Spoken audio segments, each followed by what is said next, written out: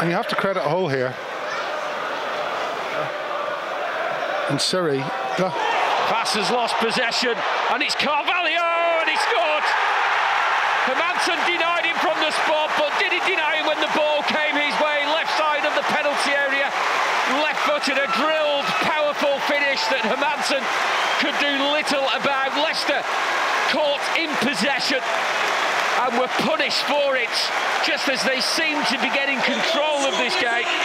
But Hull have the lead from 12 yards.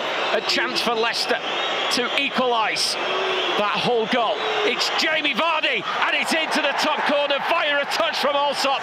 He'll enjoy the celebrations. He'll enjoy the fact that Leicester are level and it's seven goals in his last eight games for Jamie Vardy.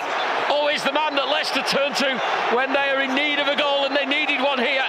Free kick from the right of his penalty area, ball that goes all the way through to the Leicester penalty area. Wout, Wout Faes makes a stooping headed clearance. Zohore shot from the left of the area across the face of goal and into the bottom corner.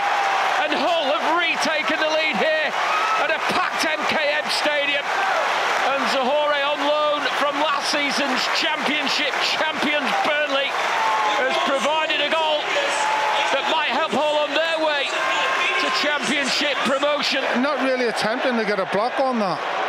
Fatawu looking for the quick reply. Vardy is in space. Jamie Vardy equalises straight away. Jamie Vardy on the spot, just to the right of the six-yard area. It was a storming run by Abdul Fatawu. Fed the ball into Vardy. You can't give him that much space.